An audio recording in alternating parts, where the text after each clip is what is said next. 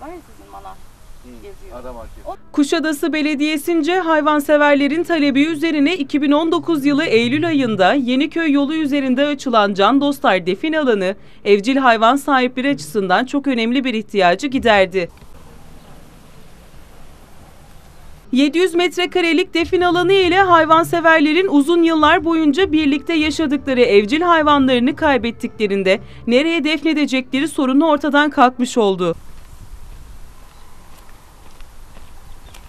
Çeşitli nedenlerle evcil hayvanlarını kaybeden vatandaşlar Kuşadası Belediyesi'nin iletişim ve çağrı merkezi olan Güvercin Masa'ya yaptıkları başvuru ile can dostlarını ücretsiz olarak defnetme olanağına kavuştu.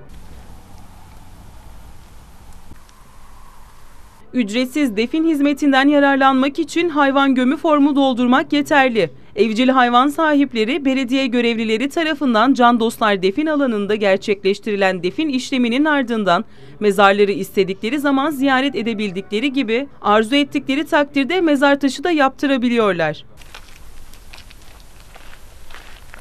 Böylece kaybettikleri can dostlarının mezarının nerede olduğunu bilmenin gönül rahatlığını yaşıyorlar.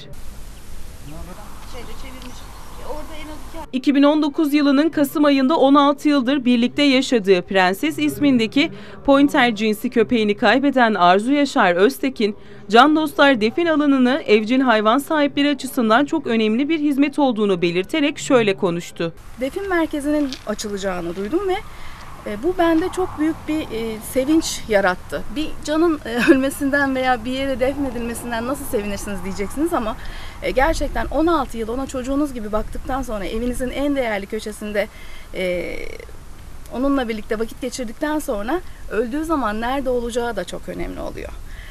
Bunu canları olanlar, canları olmasa da canları sevenler beni çok iyi anlayacaklardır. İşte prensesimiz 2019 Kasım ayından beri burada. E, artık bundan sonra diğer arkadaşlarıyla birlikte burada huzura kavuştu diyeceğim.